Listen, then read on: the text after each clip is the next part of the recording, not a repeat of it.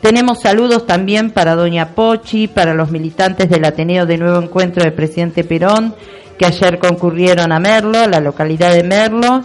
Eh, han vuelto bastante, bastante este, reconfortados y bueno, esta es la esperanza que nosotros tenemos como militantes de eh, salir de este ninguneo gubernamental tanto a nivel nacional como provincial. O sea, realmente es lamentable. Tenemos, eh, como decíamos en un principio, la esperanza nuevamente en Rieles, desde Merlo. Sí, y para eso es importante la militancia, es importante ciertas asociaciones. En este caso vamos a entrevistar al presidente del ENAC. El ENAC son empresarios nacionales para el desarrollo argentino. Estamos con Leo Bilaski. Buen día, Leo. ¿Nos escuchás? Muy buenos días. Sí, por supuesto. Muy buenos días. ¿Cómo están? Bien, acá en la lucha, después de un lindo día ayer, de una jornada magnífica, nos sentimos muy cómodos con, el discurso de Fernández Fernández. Y como, como siempre, ¿no? Al otro día, ver alguna que otra crítica en Clarín, en La Nación, pero bueno, ellos van por su camino nosotros vamos por otro. Y, y vos sos uno de los, de los referentes de, del otro modelo, ¿no? Del modelo que, que unifica eh, el desarrollo, que, que, intenta que las pymes crezcan. Eh, contanos un poquito qué es el ENAC para que la gente de Presidente Perón y alrededores pueda entender. Bueno, la Asociación de Empresarios Nacionales es una organización político-empresarial como fue la histórica CGE que presidió José Bergelbar y que mm, hoy no tiene una expresión, o hasta que NAC no nació, no tenía una expresión en la actualidad, una, una entidad que represente los intereses de las pymes y las empresas nacionales que viven del mercado interno. Sí hay organizaciones políticas, empresariales, pero que representan otros intereses, por ejemplo, AEA, e el G6, la mesa de enlace, el coloquio IDEA, el G25, el foro de convergencia empresarial, todas entidades que defienden un esquema de capitalismo que termina siempre castigando a los pueblos en detrimento de las corporaciones. La verdad que para dar otra discusión lo que se necesitaba es otro actor y otra voz. y como no había, tuvimos que crearlo. Sí, sí, acá mismo estamos viendo que la ANAC eh, pidió al Senado de la Nación que trate con urgencia la emergencia PYME. Ustedes fueron... Sí, la semana pasada. ¿Y cómo, cómo, cómo ves que se pueda salir adelante con esta medida? Lo importante mm, de la emergencia PYME radica en que se perdieron ya en estos tres años y medio 15.000 empresas, eh, producto de todas las políticas eh, activa que lleva adelante el gobierno nacional y Mauricio Macri. Y el único dispositivo institucional que vemos que le puede poner una un límite a eso es el Congreso de la Nación. Eh, cuando fue lo del tarifazo, logramos finalmente sacar la ley que retrotraía las tarifas y el presidente lo vetó. Ah. Bueno. Sí, sí, nos acordamos bien. Fue una de las primeras, fue una de las primeras medidas que se intentaron tomar para que no no hayan más eh, despidos y, el presidente la vetó. Claro, y con la, con la emergencia PYME pasa lo mismo. Eh, queremos que salga la emergencia para que la FIP deje de embargar a las pymes que están la están pasando mal. Pero no la están pasando mal porque son empresarios que no saben hacer negocios. La están pasando mal porque la recesión es producto de las medidas que tomó el gobierno nacional, como el, la bicicleta financiera, el endeudamiento brutal eh, la apertura indiscriminada de las importaciones. Sí, pareciera que de un día a otro los, empresarios, los emprendedores o los dueños de, pymes eh, empezaron a hacer eh, actividades que no son rentables de un día a otro, como si algo no hubiese, no, hubiese pasado nada, ¿no? Y, sin embargo, muchos de los costos que hoy en día no permiten que una pyme o una empresa mediana o grande no sea rentable, porque pasa también en las grandes, que no sea rentable es por los servicios que están tan caros, o sea, un costo que, que no tenía tanta importancia eh, en la cadena eh, de costos totales, eh, ahora pasa a ser muy importante, como son los servicios de la luz, el agua, ¿no? el teléfono. Lamentablemente estamos en una situación en donde es muy difícil emprender. Y, bueno, la, verdad es que tratamos nosotros de difundir eh, cuestiones que ayuden al entendimiento de la gente, porque por ahí la gente no, no entiende por qué es despedida a veces. Creen que el empresario de un día a otro se volvió malo o que no quiere, no quiere invertir porque no va a ganar lo que, lo que quería, ¿no? Eso, eh, o sea, lo que veo es que ustedes tratan de darle un, una imagen distinta al empresario, ¿no? Que el empresario no es esto, ¿no, Leo? No es que nosotros eh, proponemos una imagen distinta del empresario. Lo que pasa es que durante mucho tiempo la única imagen que la sociedad recibió del empresario son de, de cinco, diez referentes de estas entidades que yo te nombré antes, la UIA, la Cámara Argentina de Comercio, de la Bolsa, de la Sociedad Rural, que no representan a la totalidad del sector. Hay de las 605.000 empresas, 600.000 son pymes. Pero no tienen voz en los medios de comunicación, en las radios, en las revistas de fiestas, en, en los diarios de los domingos. Entonces, eh, la imagen que se hace uno del empresario Ratazzi, y la verdad que ningún pyme nace Ratazzi, eh, ningún empresario nace Ratazzi. Entonces él no representa nuestro patrón de conducta ni nuestro eh, nuestra imagen. Lo que pasa es que él pone plata para salir en todos los diarios nacionales, con Fiat y con todo su conglomerado de negocios. Esta, estas 600.000 pymes que, que mencionaste, ¿cuántos puestos de trabajo más o menos, una idea general, eh, tiene bajo bajo su pertenencia. El 70%, el 70 de todos los puestos de trabajo registrados eh, que hay en la Argentina. tres de cada cuatro puestos de trabajo registrados lo, lo tienen las pymes y uno de cada cuatro lo tienen las grandes empresas. Pero son las grandes empresas las que están en la centralidad de esta política de Mauricio Macri, no nosotros. Nosotros estamos en la periferia, desplazados, y por eso hay despidos masivos en el sector. y que es, es muy, muy raro, ¿no? Que que siendo así este porcentaje tan alto de, mano de obra que ocupan las pymes no, no se tenga, digamos, otra otra manera de manejarse con, las pymes, ¿no? Que, no sea a través de estos tarifazos. Eh, Leo, ¿qué, ¿cómo hacen con el tema de, los préstamos, las tasas que, ofrecen? ¿Se, puede ser rentable con, con, estas tasas actuales para que un empresario pueda hacer un emprendimiento o algún desarrollo? Mira, cuando es, cuando te dan más eh, tasa de interés, eh, especular en la bolsa o un crédito o un, un plazo fijo o una inversión en, en bonos como las LEVAC, las LELIC, que producir en una fábrica, mm. todo el capital se orienta a la especulación y no se orienta a la, a la producción. Entonces, cuando vos sos un actor de la economía real y vas a pedir un crédito, te dicen, ¿por qué te voy a dar una tasa de interés baja si yo especulando tengo una tasa de interés alta? Pagame la misma tasa de interés y yo te doy la plata para que vos puedas en tu fábrica comprar insumos, pagar proveedores.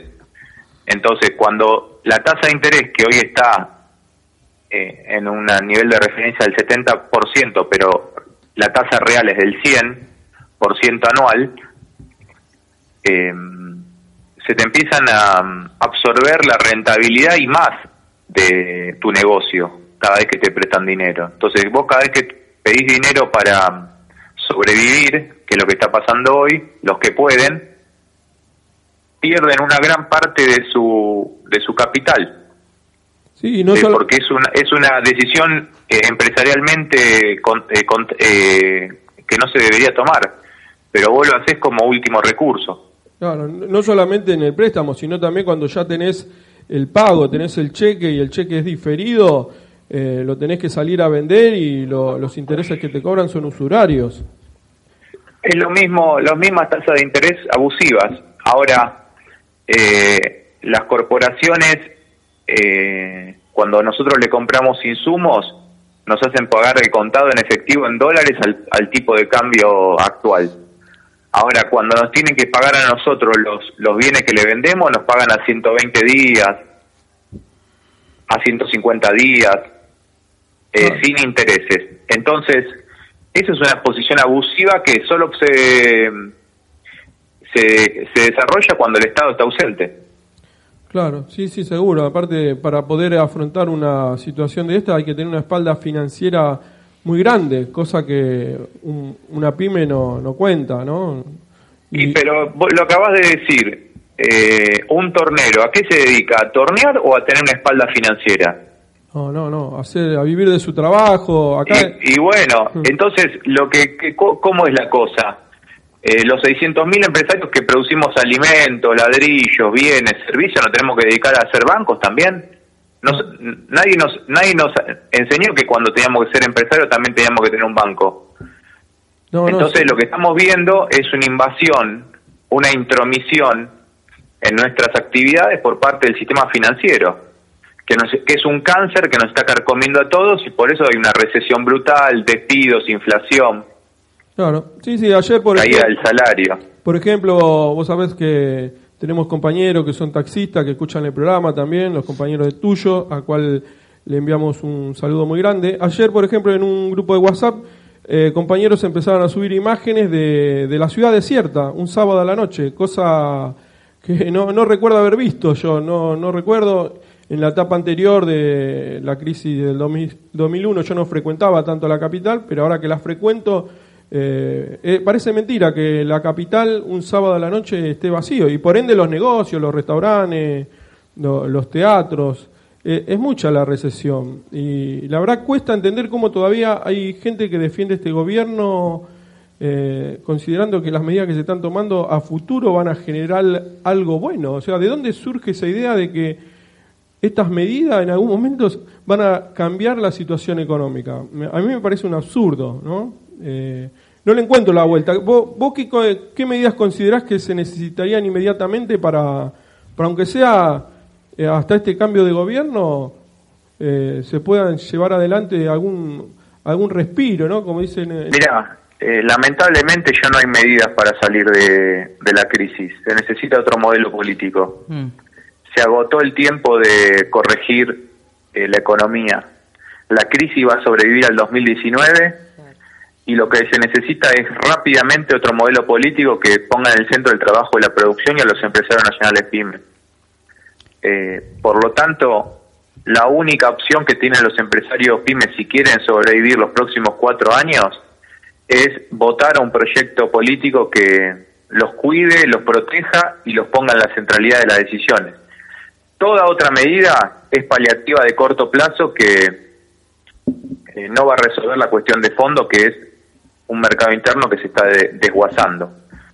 Si los empresarios pymes se vuelven a equivocar como se equivocaron en el 2015, bueno, van a tener que pagar de su propio bolsillo ese error como pasó estos tres años y medio con 15.000 empresas menos, eh, con 135.000 puestos de trabajo industriales menos, con una inflación de 215% a lo largo de la, de la gestión de Mauricio Macri, con un dólar que se devaluó 350%, un endeudamiento brutal que tiene la Argentina en 150 mil millones de dólares, que no está en ningún lado, se, se fumó, se fue. Eh, eh, es eh, nada más penoso que un empresario pyme que vive el mercado interno votando en contra de la destrucción del mercado interno. Por eso hacemos un llamado a la reflexión. No depende de Mauricio Macri el futuro de la Argentina, depende de los empresarios nacionales pymes. Bueno, estamos hablando, para recordar a nuestro público, nos están empezando a llegar los mensajitos, estamos hablando con empresarios nacionales para el desarrollo argentino, su presidente, eh, Leo Vilnaski. Eh, Liliana. Eh, Leo, buen día. Liliana Palavecino, ¿cómo estás? ¿Cómo estás? una pregunta. Estaba mirando el debate en el Senado el día 22 de mayo sobre el régimen de promoción de la economía del conocimiento y cada vez que miro estos, estos proyectos que vienen de parte del oficialismo, parece como que estoy mirando la luna redonda, brillante y que hay un lado oscuro. Yo le sospecho a esta gente porque realmente esta, este proyecto de ley habla sobre la economía del conocimiento, la promoción de las pymes, eh, que están en cuanto eh, en el campo del software, los servicios informáticos y digitales, desarrollo de productos de software, etcétera, etcétera, etcétera. Eh, realmente es como que pienso, eh, me refiero a este proyecto de ley como ejemplo, ¿no? Pienso que estas cosas yo les sospecho. Hay un lado oscuro de estos proyectos de, de, ley y más con la defensa tan, tan enfervorizada de un senador como Bullrich. Eh, vos mismo lo dijiste, hoy eh, hay que cambiar el modelo político, pero ellos es como que están hablando separadamente de la realidad eh, no solo económica, sino social de la Argentina.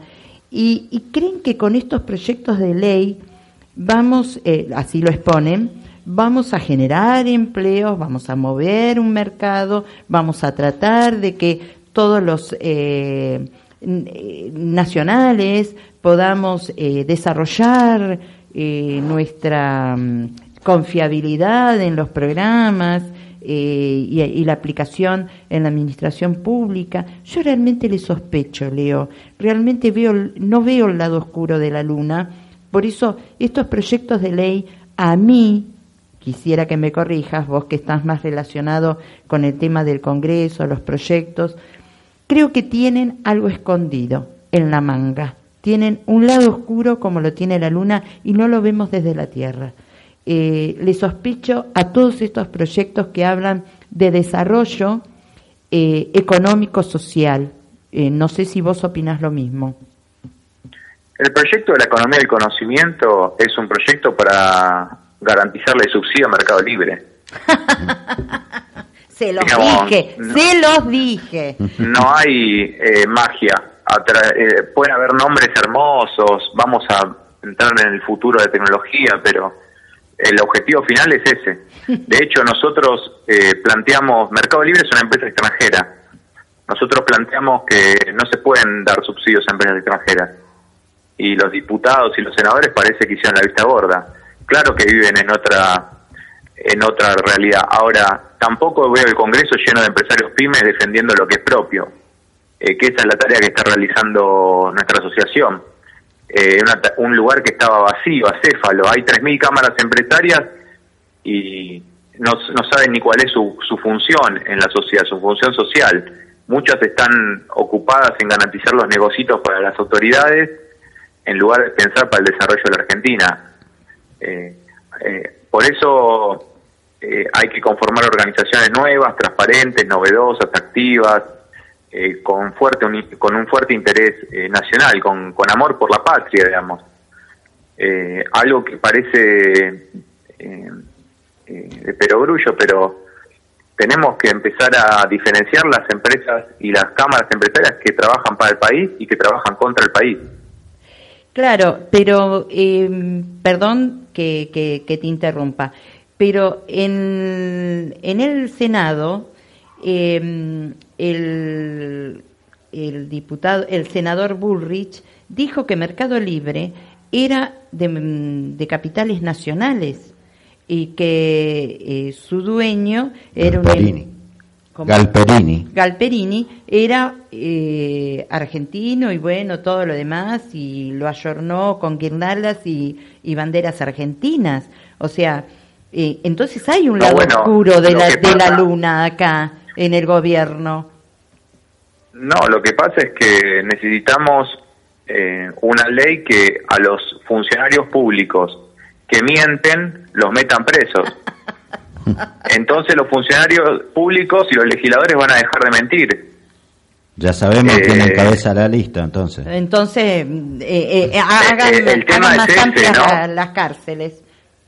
Yo, que, que un periodista pago por un multimedio para hacer terrorismo mediático, diga lo que quiera, bueno, también es objetable, pero lo que digo es problema del multimedio. Ahora, que un funcionario público que todos le pagamos el salario, sí mienta y después no pueda eh, argumentar con hechos concretos, con prueba lo que acaba de decir, debería ir preso. Sí, sí, Porque él tiene una función social eh, que, y se lo votó para eso. Galperín tiene Galperín y los gerentes de Mercado Libre tienen 9,5% de acciones de de Mercado Libre solamente. El otro 90 90,5 ¿de quién es? Ah, claro. Si vos tenés si vos tenés una acción y el otro tiene nueve acciones, ¿quién es el dueño? ¿Vos o el otro? No, el otro, obviamente. Yo Bueno. que más tiene. Y si, el, o- y si el otro está instalado en Delaware, Estados Unidos, en un paraíso fiscal. ¿la empresa extranjera o argentina? No, No, extranjera, es, eh, extranjera no y aparte argentina. está en un paraíso fiscal. Hay Va- que, hay que tatuárselo en la cara a Esteban Bullrich porque me parece que se le creció la nariz de- por hacer política de Pinocho. Entonces ven compañeros, compañeras, vecinos, vecines, ¿sí? De todos los que nos están escuchando, que hay un lado oscuro de la luna. La cara es brillante. La ley la expusieron en el Senado como si fuera un paliativo contra una recesión económica, laboral, la- contra la desocupación, aquellos cerebros y la imaginación andante sobre cuatro, cinco, o seis ruedas, eh, era una ley brillante y es para salvar una empresa. Y que encima no es argentina. Corregime, Leo, está subvencionada por capitales argentinos porque en la semana anterior hubo algo que una diputada o senadora eh, denunció, empezó a investigar, eh, lo escuché así en los medios de comunicación, de que Mercado Libre estaba subvencionada por el Estado, ¿puede ser? Sí, sí, sin ningún lugar a duda. De hecho, la FIP eh, inició una demanda contra Mercado Libre porque usó una promoción para empresas que desarrollan software para apropiarse un subsidio que no le corresponden y Francisco Cabrera y Mauricio Macri intervinieron desde el Ministerio de la Producción para frenar a la FIP y permitirle que eh, consuma en, a dólares de hoy 1.500 millones de dólares en subsidio del Estado. Apa, apa. O sea que seguimos en el lado oscuro de la luna. Y algo que nosotros no estamos viendo ni como habitantes de la República Argentina ni como habitantes de las Canarias. O sea, esto es netamente legalizar la oligarquía que realmente sí en un sistema oligárquico. O sea si está nos están haciendo sangrar ya directamente sí a nosotros que somos laburantes a los desocupados a los jubilados y ellos están votando o haciendo votar leyes bajo mentiras y bajo el engaño no solo de aquellos que no concurrimos al Senado ni que estamos viendo las transmisiones en directo o diferidas, sino están engañando el conocimiento de aquellos que ignoramos qué es lo que se está tratando detrás de una ley. O sea, la oligarquía, el poder ilegalizado encima, Leo. Una, una preguntita de, que nos llegó de, las tantas para ir cerrando porque siempre acostumbramos a pasar aunque sea una, una preguntita. Acá nos dice Eduardo Ferreira, ¿qué está haciendo el ENAC para, eh, con el tema de, de compra argentino? Como para que el ciudadano tome conciencia de comprar productos argentinos porque eso también se devuelve en trabajo. Mira, eh, lo que estamos haciendo hoy, por ejemplo, es eh, trabajando y aportando para que la ley de góndolas eh, salga del Congreso de la Nación, garantizando un 30% del espacio para las pymes argentinas. Eh, para que podamos ofrecer los productos, los alimentos a buen precio, en calidad, en abundancia, eh, a, a los consumidores a través de los supermercados, algo que hoy está vedado. Ah, así que eso es trabajar para el compra argentino. Después, el compra argentino es un eslogan que no se aplicó y no se aplica en la realidad. Y lamentablemente nunca se va a aplicar si los que firman las órdenes de compra del Estado argentino no son empresarios nacionales pymes. Porque están todos permeables al lobby, a, la- a las cometas de las corporaciones, son empleados de las corporaciones. Lamentablemente, lo que tiene que entender la gente es que si el sujeto que toma la decisión y la decisión no están en línea con los intereses de la patria, eh, las cosas no van a suceder. No hay leyes que alguien las aplique a rajatabla, las violan las leyes. Claro, claro. Y tampoco hay alguien que atrás del funcionario que el- en lugar de, elegir un producto argentino, elija un producto extranjero, le diga algo. Entonces tenemos que reflexionar sobre eh, qué está pasando. Y también tenemos que reflexionar es, No qué hacen los demás por el compra argentino. La pregunta no tendríamos que hacer nosotros, ¿qué hacemos nosotros por el compra argentino? Claro. Porque si todos nos sentimos espectadores, sí, sí. Eh, ¿quién hace las cosas?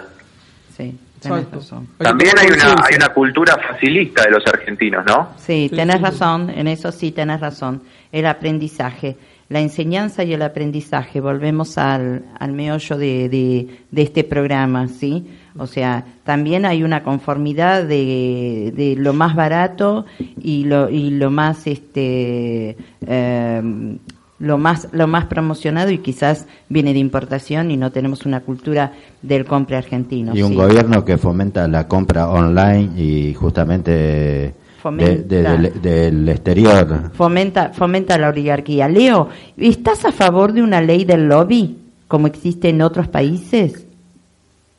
Sí, tiene que haber una ley del lobby. Ahí está. Para que los, los lobistas estén... Ahí está. Están como en la ley, ¿no? Eh, Legalizados. Eh, que estén eh, no solo que estén eh, expuestos Claro, que sepamos quiénes son, porque si no es como a veces uno no se da cuenta que, el que está hablando en un medio es un lobista. Por ejemplo, un, un, periodista puede ser un lobista. Claro, sí. Que lo diga. Que lo diga, sí. que lo diga, que quede claro. Y si no lo dice y hace lobby a, a espaldas de la sociedad, eh, con el Estado eh, que vaya preso. Exacto, ahí está. Porque si no están influyendo en la opinión pública mintiendo o a favor de intereses que no aclaran. Ah, sí, se lo dan por por eh, periodistas independientes o y no son. Y no lo son. Leo Leo es como yo hablando inglés. El que roba es ladrón el que el que no dice la verdad es mentiroso y la cárcel para para los mentirosos. Leo eh, alguna preguntita que no te hayamos hecho y que vos tengas ganas de dejarnos un mensaje fervoroso y, y conciso como vemos que es tu estilo el mensaje es claro, la sociedad tiene que comprender que hay una grieta entre la economía real, la cual vivimos todos los de a pie, y, el sector financiero, que son la bolsa de comercio, las energéticas, los bancos, que no les importa esquilmarnos eh, aún si nos quedamos sin comida sobre la mesa. Entonces, la sociedad tiene que ponerle un límite claro y contundente a ese sector financiero si quiere trabajar se tiene que adaptar a las, a las normas que nos benefician a nosotros, que somos los que vivimos en la Argentina. Eh, y eso se hace con una convicción clara, con un modelo político claro, con, un, con, funcionarios que respondan a los intereses de la Argentina. Claro. Y al que no responde con los intereses de la Argentina, la sociedad tiene que ser impiadoso, no puede tener esta, esta paciencia eterna el que se endeuda 100 años a la Argentina hay que sacarlo del gobierno. Exacto. Sin piedad, sea el presidente, sea el ministro de Economía, sea quien fuere. Porque si no estamos aceptando que nos roben en la cara. Sí. bueno, la Constitución lo permite. Si lo permite la Constitución, entonces nosotros tenemos que ejercer los mecanismos para eh, que se cumpla. Si no, también estamos cometiendo un doble eh, eh, daño. No estamos reaccionando ante un robo y tampoco estamos haciendo cumplir nuestro contrato social que es la Constitución Nacional. Claro. Hay que empezar a, desde las bases de nuevo, a hacernos valer como argentinos. Porque el mundo está mm, llevándose puesto a los pueblos. Eso es lo que tenemos que eh, comprender hoy. La, el mundo ya no está tocando la puerta en la casa de cada uno. No está lejos como hace 20 o 50 años el mundo lo tenemos en el teléfono celular hoy. Exacto. Sí. Eso es lo que tenemos que reflexionar como argentinos. Leo, te despido con una frase de Cristina Fernández de Kirchner, eh, de Sinceramente, en la página 296. Dice, nunca tuvimos un dirigente empresarial que pudiera graficar y representar a todos los empresarios como fue la época de José Herbal. Si hubiéramos tenido un Herbal sería otro cantar. Estoy absolutamente convencida. Y dice, cuando hay un empresario dirigente, los resultados son otros. Gracias, Leo, por esta entrevista, gracias por este domingo, este pedacito de domingo y, y disculpanos la interrupción que hicimos a, tu descanso, pero era necesario ver eh, la, visión empresarial y la relación con el Congreso y con todo lo que es el mundo laboral y, el hacer nacional. Muchísimas gracias, Leo. No, gracias a ustedes por darle voz a las empresas nacionales PYME. Les mando un gran abrazo. Un gran abrazo. Gracias por esta entrevista. Soy que he conocido. Bueno, acá me dice Lourdes eh, de Tucumán que se entrecorta la entrevista. Me parece que estamos teniendo problemas con internet. De conectar igualdad. ahora, que está Macri podemos. Eh, tenemos internet a full, seguro. Mira, Elba Mancilla también nos comenta eh, de los bucheas. Mira, los bucheas, si ustedes supieran dónde quedan los bucheas.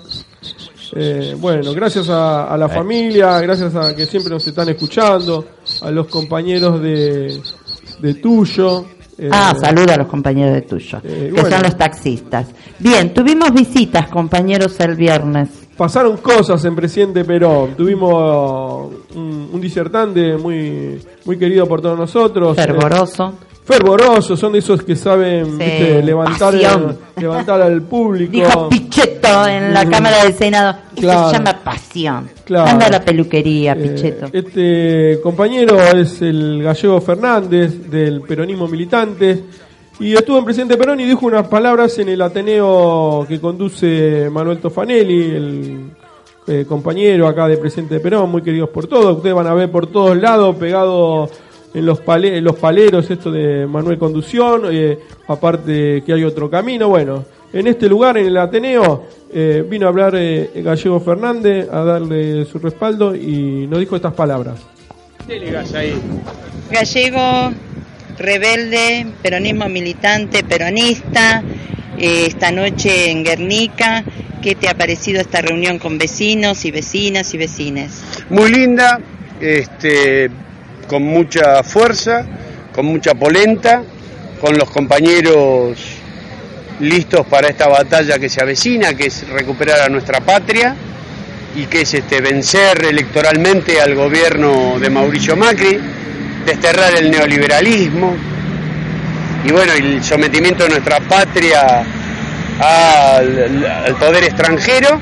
Así que con muchísima fuerza, porque uno escuchó la palabra de los compañeros, y eso siempre revitaliza y da muchísima fuerza y ver este compañero esclarecido, con mucho compromiso, empujando para adelante, empujando para que todos y todas tengamos un mejor destino, siempre, siempre además de reparador, es muy fortificador. ¿Qué te pareció la fórmula Cristina Vicepresidente? A mí me pareció muy bien, además ella en ese videíto de 12 minutos lo explica. Aquí el problema no es solo ganar, que es una cuestión, pero la cuestión segunda, siguiente, que es este, gobernar y construir el nivel de consenso que se necesita para establecer un gobierno y que sea que pueda discurrir por canales exitosos, hay, se necesita un gran consenso y un gran gobierno de unidad nacional. Hay compañeros que han bajado sus candidaturas, eh, ves que es un, un acto de humildad o de reconocimiento de poder de la fórmula Fernández Fernández.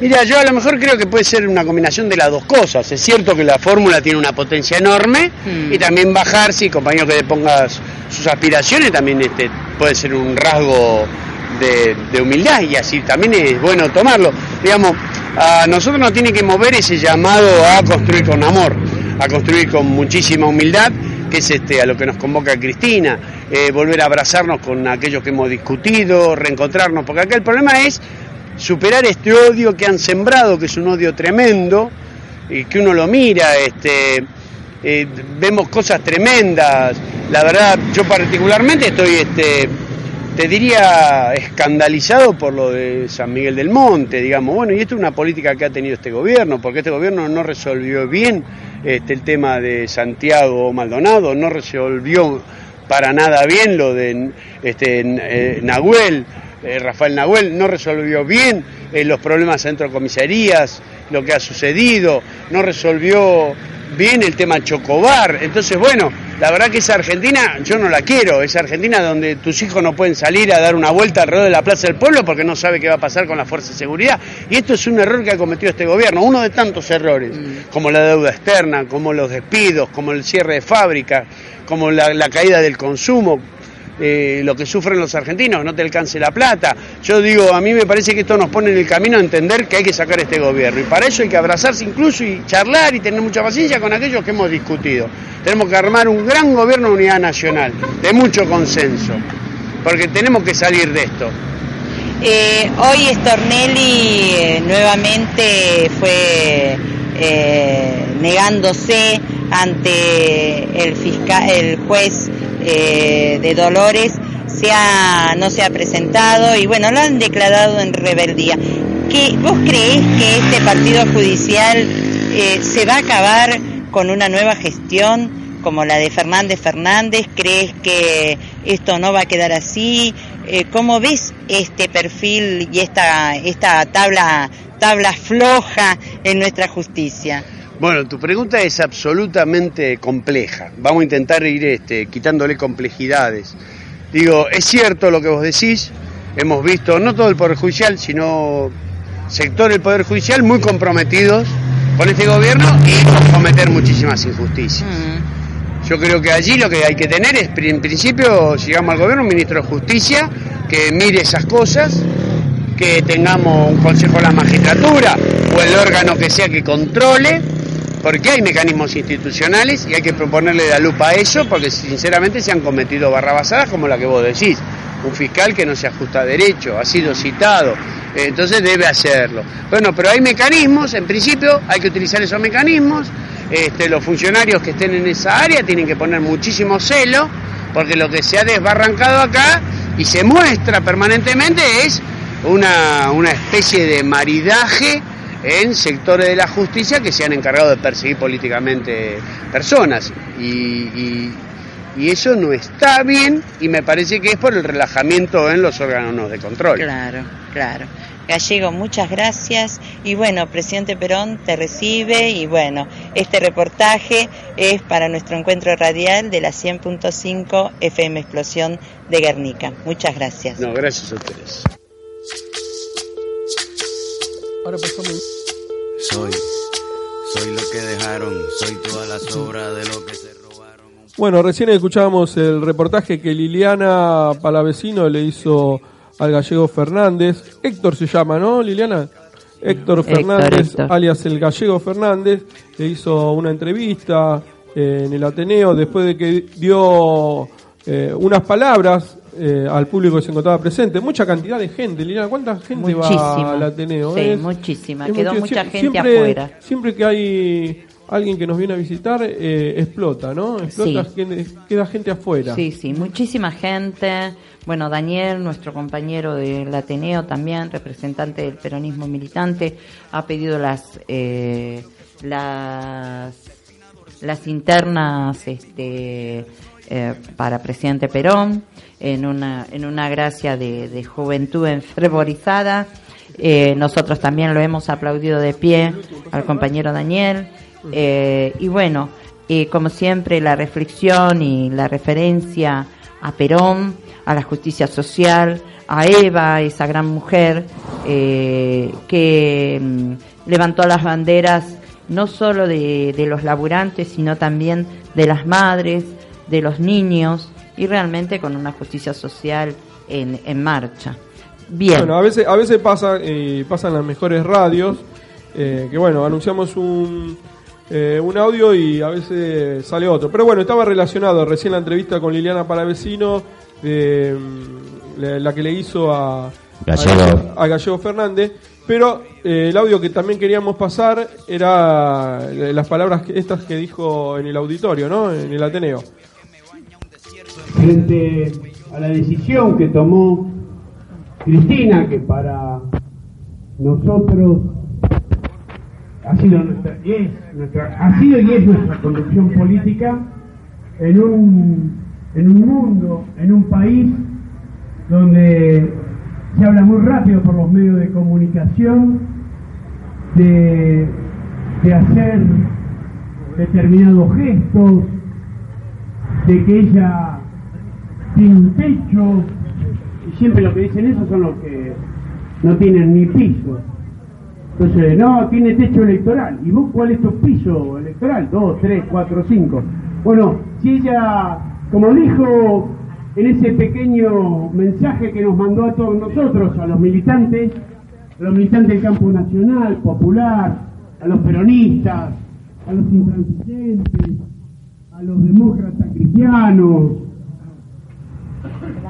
a todos aquellos que conformamos este gran frente nacional y popular, que lo acá lo importante, si bien es ganar, pero mucho más importante es poder gobernar.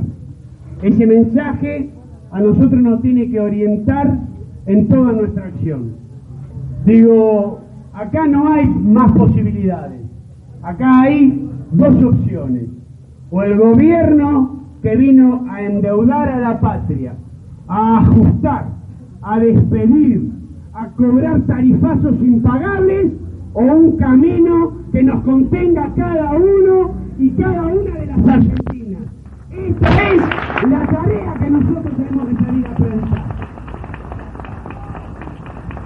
De militancia, de recuerdo de, Perón, este, con muchos vecinos que toman la palabra y eh, realmente es un espacio de, convivencia, de, de consenso y de militancia y el orgullo de ser militantes. No todos son peronistas, aclaramos. Hay mucha gente que no tiene una bandería política, pero tiene la convicción de que presidente Perón tiene que cambiar, no solo en su plano laboral, en su plano político, de gestión pública, en su parte social también. Eh, hemos tenido esta visita de eh, el gallego Fernández y realmente ha sido muy emocionante escucharlo, hablar con él, realmente una gran noche, una gran noche. Pero bueno, ahí estamos eh, contentos por esta visita, el espacio y los minutos que nos ha dado. La, verdad, eh, muy muy amable, muy muy natural. Eh, ser una persona dirigente de una estructura política de tantos años como peronismo militante y ser una persona tan sencilla. La verdad que se tomó el tiempo de hablar con todos y con todas.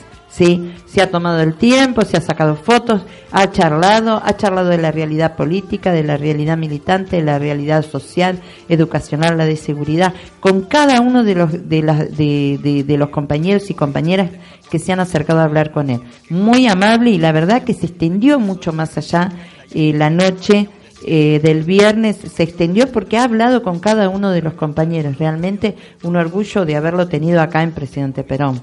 Muy, muy bueno eh, las intervenciones que han tenido los, eh, los compañeros del Ateneo de Cristina Conducción. Y bueno, ayer este, hemos tenido el, la presentación ¿sí? de la, de la fórmula Fernández Fernández. Bien, compañeros, compañeras, ¿Qué más tenemos para No, este, con respecto a la intervención ayer en, la inauguración, era de la Plaza Néstor Kirchner, o el, el, predio Néstor Kirchner en Merlo, este, porque no están lanzada todavía la...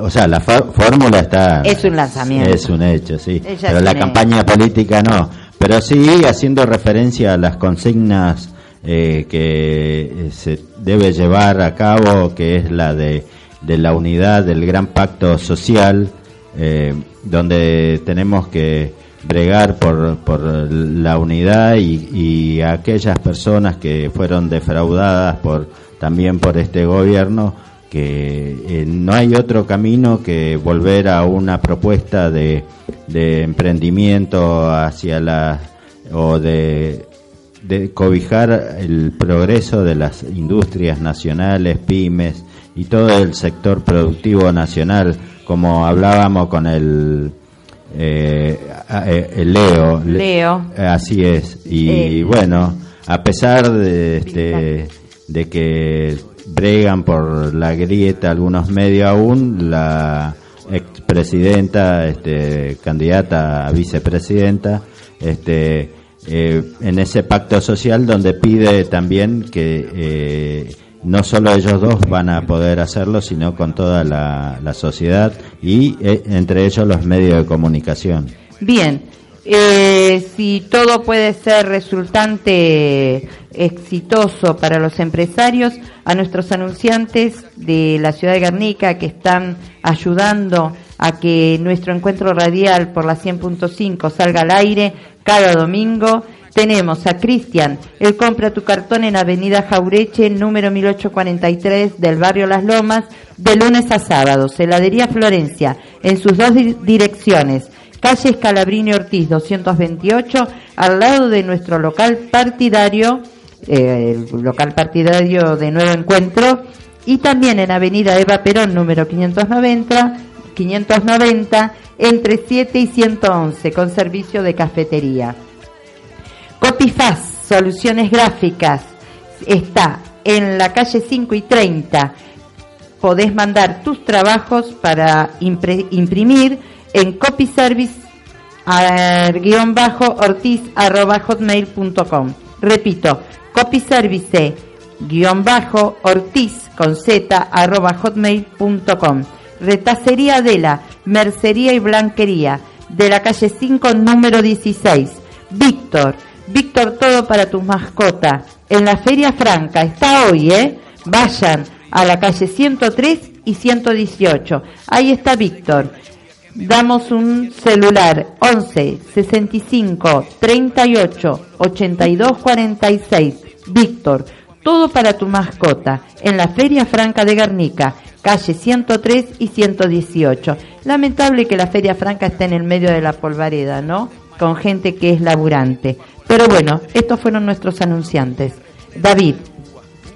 Bueno, despedimos de a poquito el programa. Ya saben que después subimos el mismo a la plataforma iVox y a YouTube, también en Facebook lo tenemos, tenemos, o sea, sabemos que si hoy tuvieron inconvenientes con internet, lo pueden escuchar eh, nuevamente eh, por esto, por estos medios, ¿no? ahora tan usados como son las redes, las redes sociales. Así que de mi parte, un gusto haber estado en el programa número 72 de nuestro encuentro radial, el programa que sale todos los domingos de 10 a 12 desde Guernica, presidente Perón.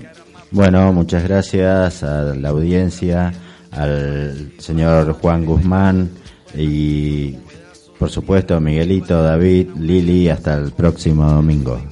Bueno, eh, estamos despidiéndonos. Gracias a todos nuestros anunciantes. Este fue el programa número 72. 72. Estamos desde, desde el 2018 y estoy trabada con mi lengua.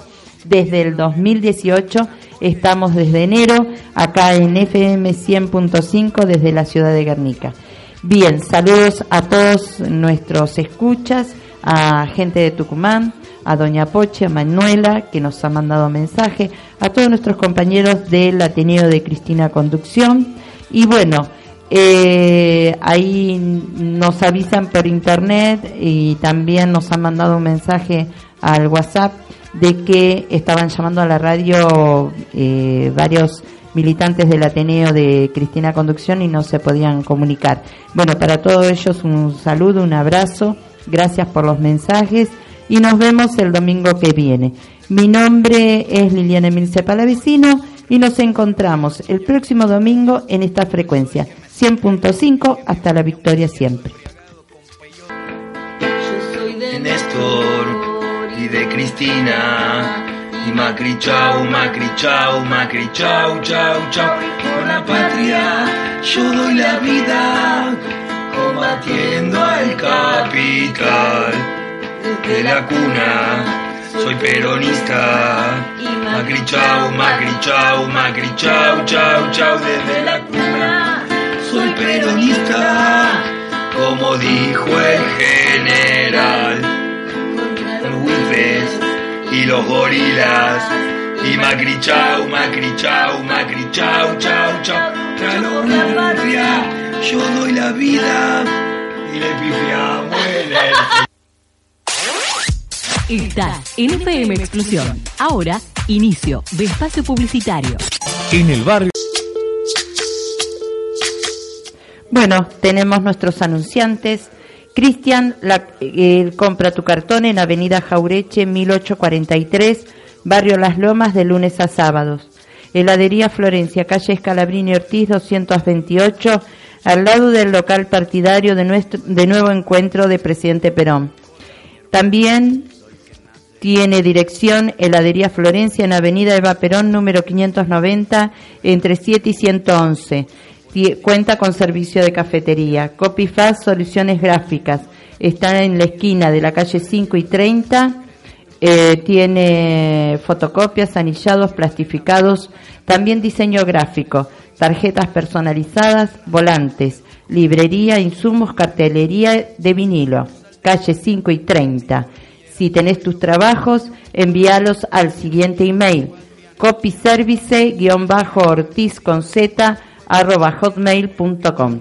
Retacería de la Mercería y Blanquería, calle número 5, eh, calle 5, número 16. Y está a pasitos de la avenida Eva Perón.